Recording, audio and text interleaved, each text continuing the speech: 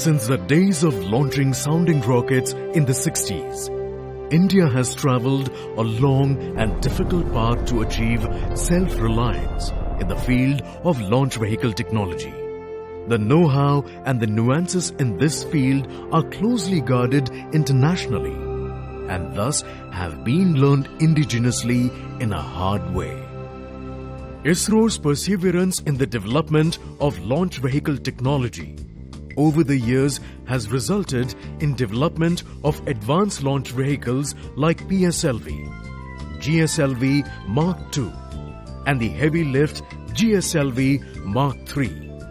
PSLV is the well-proven workhorse launch vehicle of India. In a span of 25 years, it has successfully launched 52 Indian and 237 international customer satellites. Over the years, PSLV has undergone many technological upgradations. Today, PSLV is available in two variants, Core Alone and the high-end XL versions, to cater launching of small to heavier satellites. PSLV has time and again demonstrated its capability of launching multiple satellites in a single mission. In addition, its upper stage engine restart option has further enabled launching satellites in different orbits in single mission.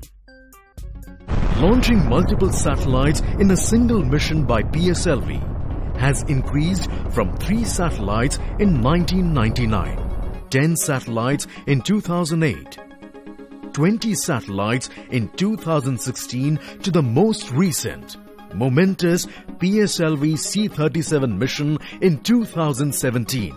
Launched a record 104 satellites in one go.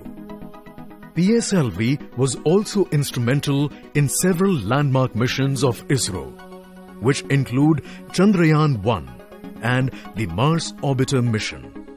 In the current PSLV C-42 mission, in its core alone configuration, the vehicle is scheduled to launch two international customer satellites, S-14 and Novasar from United Kingdom. In this configuration, the rocket is without six solid strap-on motors. This version was first flown in April 2007 and is the lightest version of the PSLV.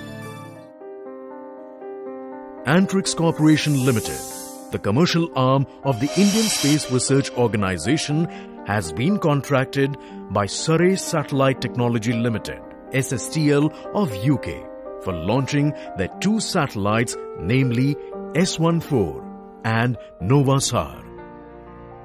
Designed and built by SSTL, S14 is a high-resolution optical Earth observation satellite with a mass of 444 kilograms. It will be used for surveying resources, environment monitoring, urban management and for the disaster monitoring. Novasar is a S-band synthetic aperture radar, SAR small satellite this 445 kg spacecraft, in addition to S-band SAR payload, also carries an automatic identification receiver. Major application areas of NOVASAR include forest mapping, land use and ice cover monitoring, flood and disaster monitoring, ship detection and maritime monitoring. Both these satellites are planned to be launched by PSLV C-42 into a 583 km sun-synchronous orbit. PSLV C-42 is all set to soar into space from Satish Dhawan Space Center at Sriharikota to complete yet another important commercial mission.